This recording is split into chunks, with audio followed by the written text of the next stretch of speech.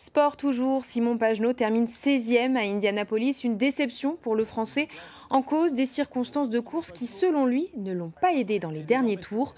Prochain rendez-vous, l'Oval de Gateway, le week-end prochain.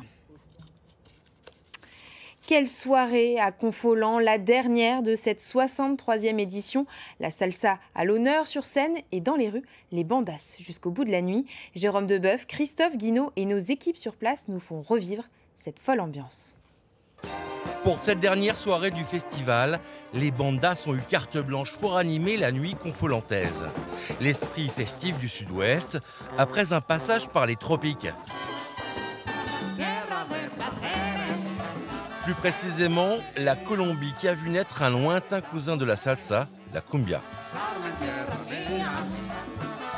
La cumbia, c'est une danse à la base qui, est arrivée en Amérique, latine avec l'esclavage, malheureusement. Et c'est un mélange de trois cultures entre l'Afrique, les, bandas, les bandas qui viennent d'Espagne, etc., et la musique indienne autochtone d'Amérique latine, proprement de Colombie.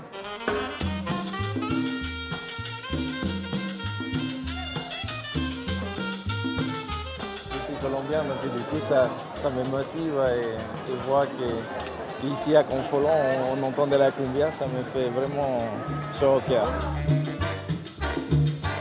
Une musique entraînante qui a très vite transporté le public bien loin de la Charente limousine.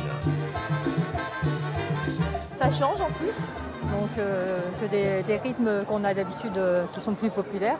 Donc si, si, au contraire, très bien. Ça fait du bien d'avoir un gros concert comme ça, moi, un double concert. C'est pas compliqué, enfin, je tapais du pied du début à la fin parce que j'étais transporté par, par la musique.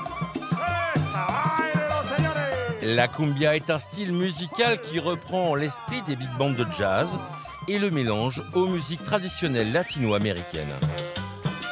On s'est collé sur euh, le format d'orchestre des années 40. Le format de 11 musiciens, c'est déjà la moitié des orchestres qui, font ce genre de musique en, Colombie. Euh, mais c'est essentiel pour pouvoir garder cet esprit. En Europe, Cumbiaya est l'un des rares groupes à jouer de la musique de cumbia sous cette forme.